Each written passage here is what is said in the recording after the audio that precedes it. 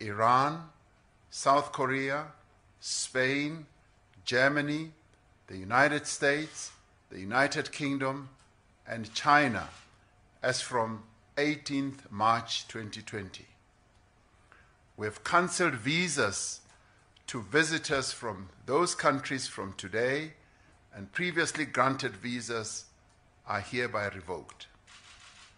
South African citizens are advised to refrain from all forms of travel to or through the European Union, the United States, United Kingdom, and other identified high risk countries such as China, Iran, and South Korea. This is effective immediately.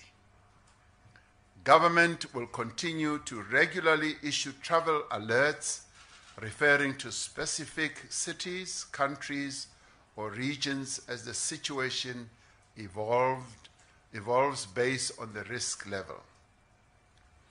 Any foreign national who has visited high risk countries in the past 20 days will be denied a visa.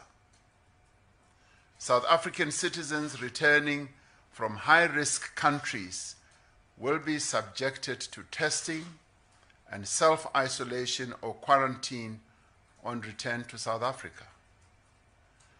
Travelers from medium risk countries such as Portugal, Hong Kong, and Singapore will be required to undergo high intensity screening. All travelers who have entered South Africa from high risk countries since mid February will be required to present themselves for testing.